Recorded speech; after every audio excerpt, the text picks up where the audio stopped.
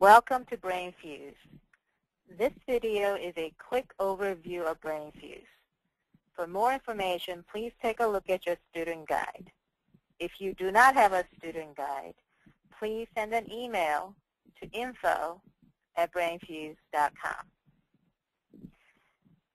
You will see the BrainFuse homepage as shown here after logging into BrainFuse through Blackboard. BrainFuse Help Now link is found under the Tools menu on the left-hand side of your Greenville Technical College page. As you will soon see, BrainFuse is user-friendly. If you need immediate help, click on Live Help. Select your subject,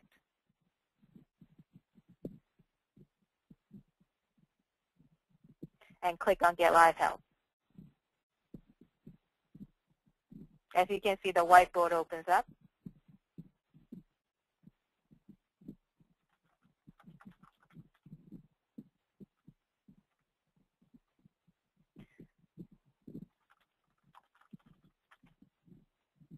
As you can see, the whiteboard has opened up. Bill P is my tutor. Uh, BF Green Test 1, that's me. And the whiteboard, as you can see, this is the pencil. There's no limit as to how much stuff that you can put on the whiteboard. This is for typing. And as you can see, it expands in both directions. Audio is not used with our tutors. However, it is available if you decide to have your own online collaboration session through Meet.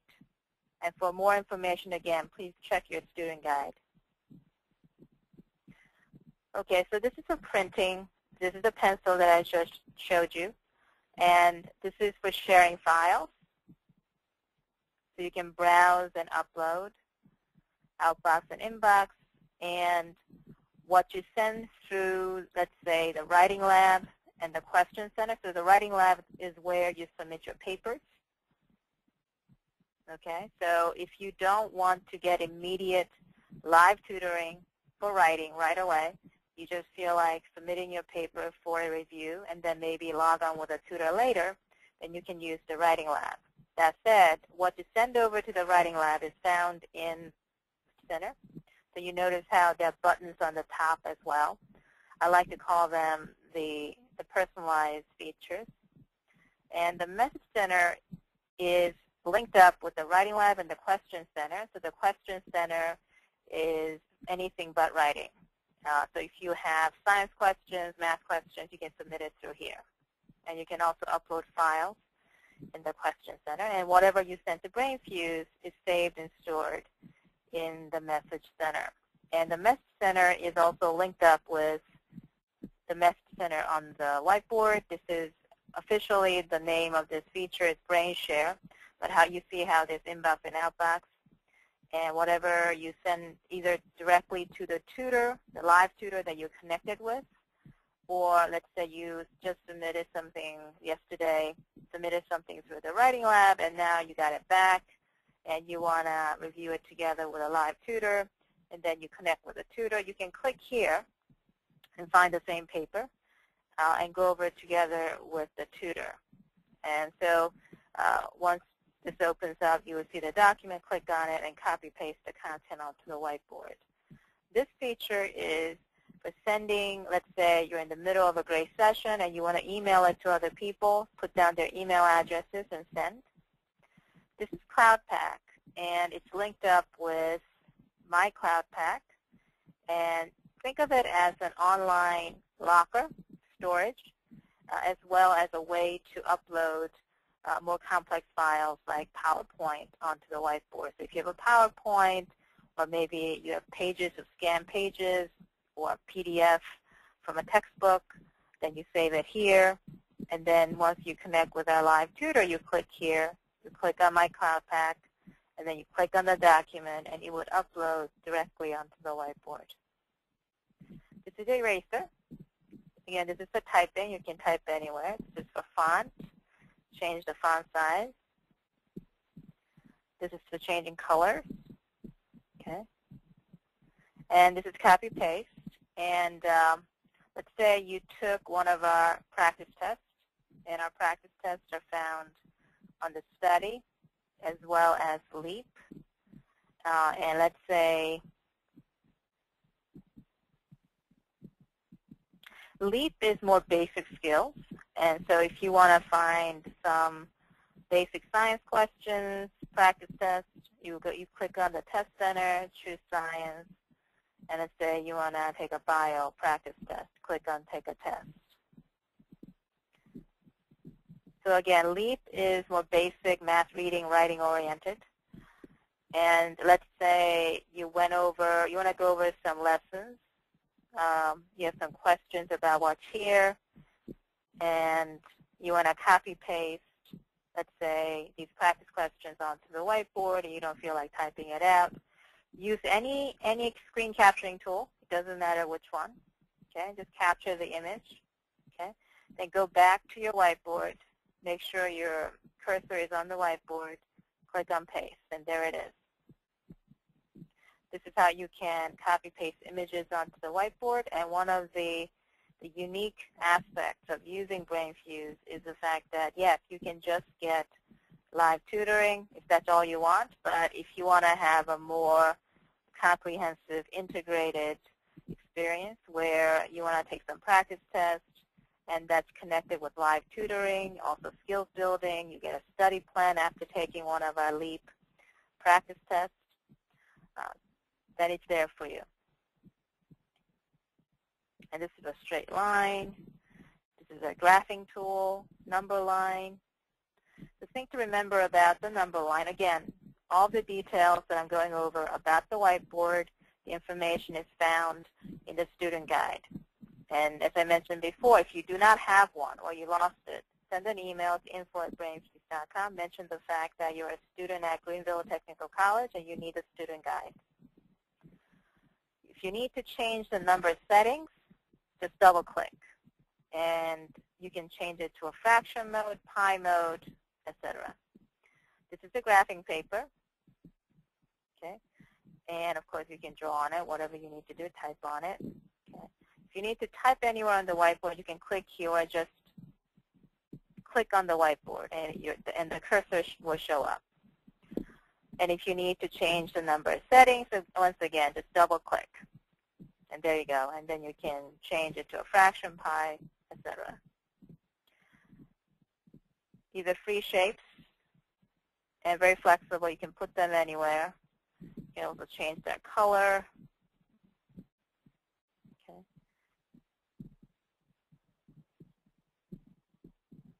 These are math and science symbols. And if you want to put a symbol on the whiteboard, just make sure that the cursor is on the whiteboard click on font to make it bigger. Choose your symbol, and there it is. Science symbol works the same way. Super and subscript, if you want to do x square, press on superscript, there you go. And then if you want to go back to regular typing, just click on ABC. And then if you need to do a subscript, just click on subscript and click on the number that you want or whatever you need to do. This is for deleting everything on the whiteboard. So you got to be careful with it. If you just want to do undo, then just click on undo. It undoes this feature, undoes the very last thing that you did on the whiteboard. You can also erase it if you want to. Now, any live session that you do with our tutors, as well as, let's say, you decide to have an online whiteboard session with your friends or maybe even with your professors where you can use audio, etc. You can find the recordings of the whiteboard sessions, whether it's with our tutors or it's a Meet session, under the past sessions.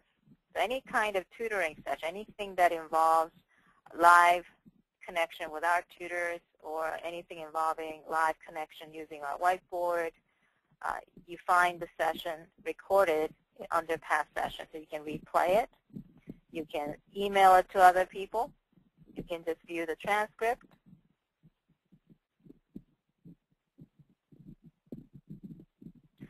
So each of these, what I call the personalized features, are actually linked up with the big buttons at the bottom.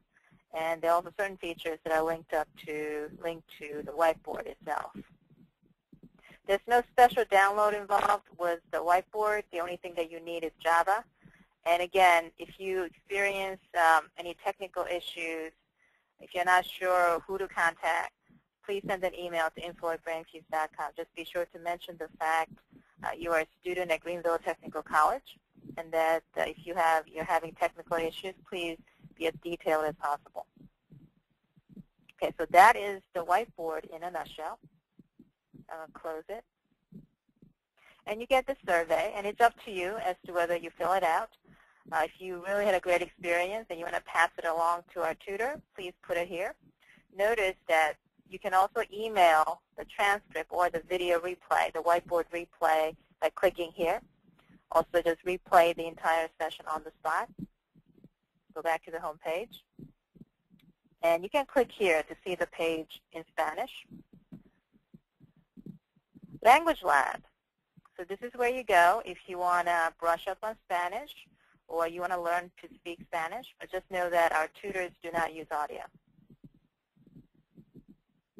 In case you're wondering why that is, uh, it's because we do monitor the sessions and we need a recording, a complete record, complete record of what happened. And that's difficult to do if all the exchanges between, most of the exchanges are uh, spoken. All right, so LEAP, so we get to LEAP. And as I explained before, this is where you find basic skills, math, reading, writing tests. So you wouldn't find science tests here. The, one of the unique things about LEAP is after you take one of the LEAP tests, you click on Take Diagnostic. So if you haven't taken any tests, the first tab that you would see, the only tab that you would see is Take Diagnostic and then you would choose your area, okay, and then you would choose your subject area, and then you would take the practice test. And after you take it, you get a very detailed study plan. You can also click here to view the test questions, and then you get a pie chart, and every time you finish something in this study plan, if you need to review uh, absolute value and sign numbers. You also view this video. The video has audio. Uh, you can either view the video first or click on Live Help Get a Tutor or click on I'm Done after you view the video and you understand it. I'm done. Every time you click on I'm done, you get a check mark here, but also notice how the pie chart tracks your progress.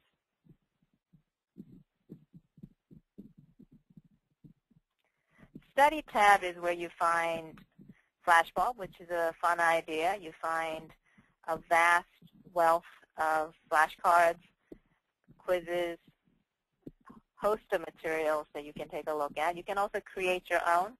Please note that Flashbulb, if you want to create your own flashcards, you do need to either have a Facebook account or you need to sign up. Click here to go back to BrainFuse.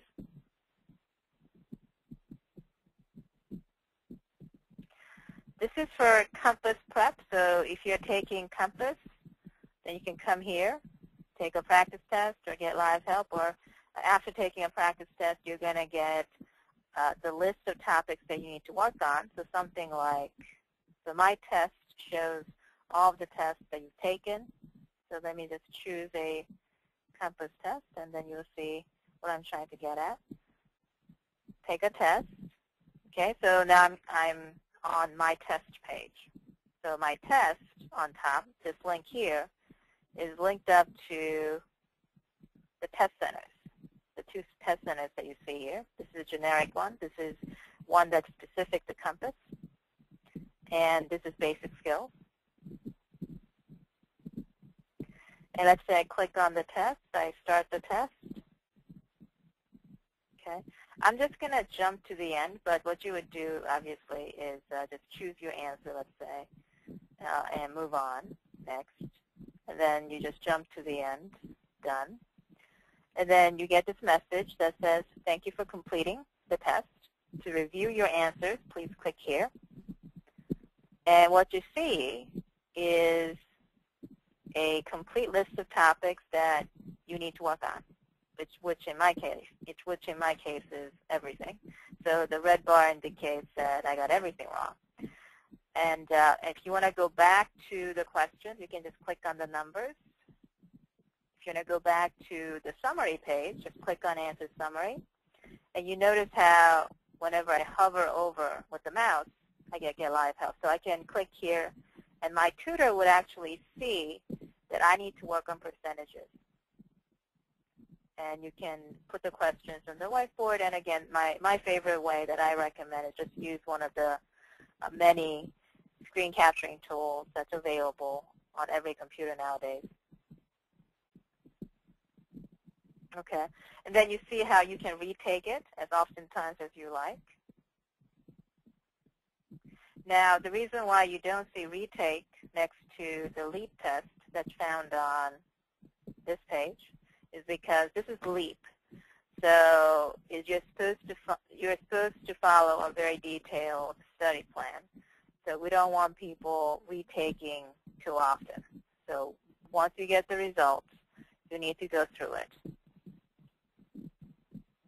However, with all the other tests, including the one that, ones that are found in the generic test center, like this one, you can take the test as often times as you need. And of course, any test that you've chosen would show up here.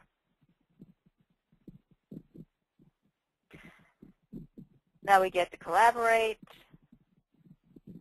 And uh, Brainwave is a, another fun idea where you can make a recording on the whiteboard and email it and share it with other people.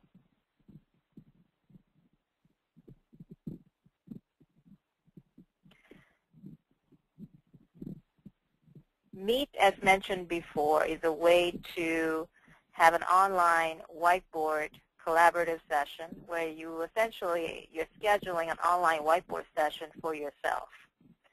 Um, whether you are the, the main person showing other people something or maybe you scheduled it with your instructor, professor, because you want your professor to show you something, or maybe it's your classmate because they know they're good at something and uh, you want them to explain it to you.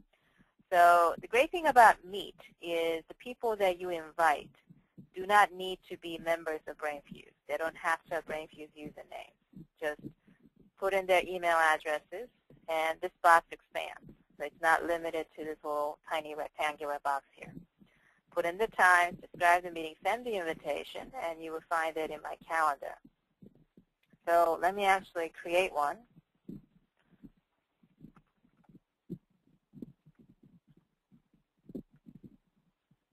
Let me send the invitation to myself. Call it demo. Send the invitation. Okay, at this point, I can edit, add more people, change the time, or delete the whole thing. Or I can add more sessions. I can also enter. So let me enter. So I'm the organizer. And as you can see, audio lights up. And this is not open mic, meaning that you got to press on it in order for the other side to hear you. And we deliberately made it that way so that the other side, the other people don't hear extraneous noise. I'm also going to log in as the person who got invited. So let me quickly log into my demo Yahoo account.